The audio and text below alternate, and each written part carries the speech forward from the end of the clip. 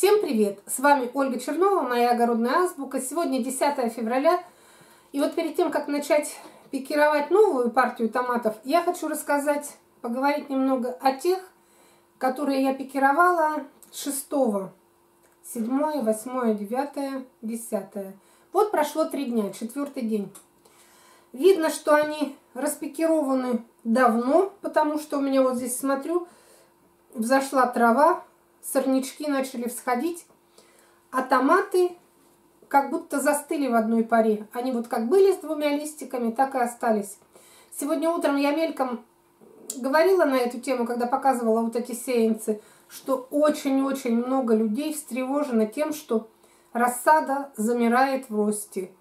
После пикировки люди смотрят, два дня прошло, три дня прошло, пять дней прошло, пятый день пошел, а она не растет. И многие думают, особенно начинающие, это ошибочное вот такое, как боязнь ошибочная. Ошибочное мнение, что что-то там не так, что-то сделали вы неправильно. Хочу всех успокоить.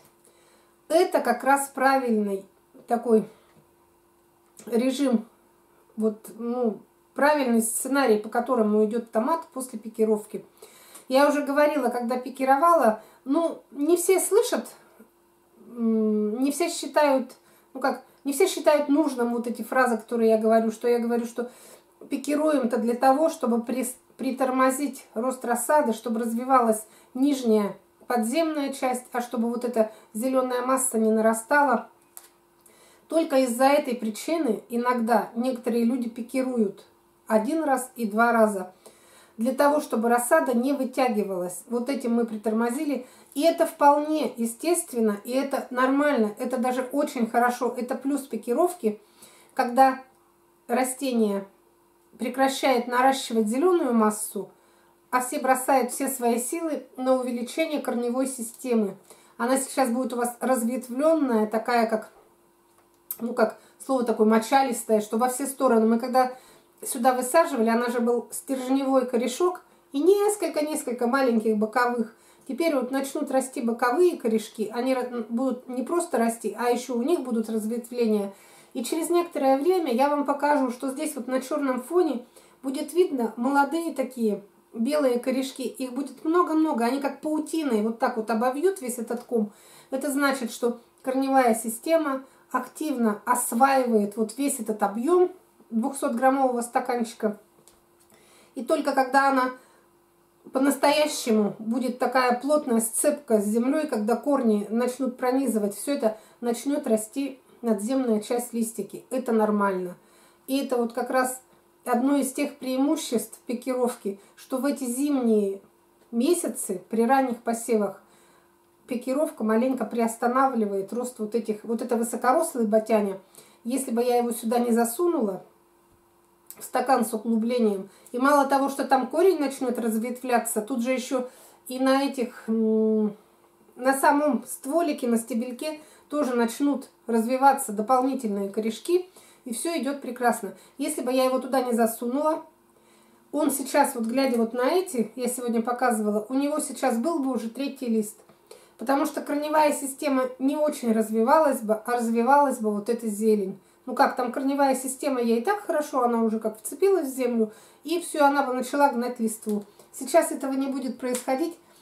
И прополив, я уже говорила, что сейчас вот на этом этапе самое главное не переувлажнить и не перелить грунт, чтобы не испортить им жизнь. Вот сейчас корневая система там в таком состоянии, она бурно развивается, она хорошая будет, сильная. Но мы можем испортить ее, если мы будем часто поливать. Вот у меня три дня прошло, четвертый день, я ни разу не поливала, не буду поливать еще столько же, по крайней мере неделю, шесть или семь дней я постараюсь выдержать, чтобы не поливать. Вот сейчас буду пикировать вот эти сеянцы. Я сегодня уже показывала, что разница есть великая – вот эти можно было бы еще не пикировать. Они не вытянулись.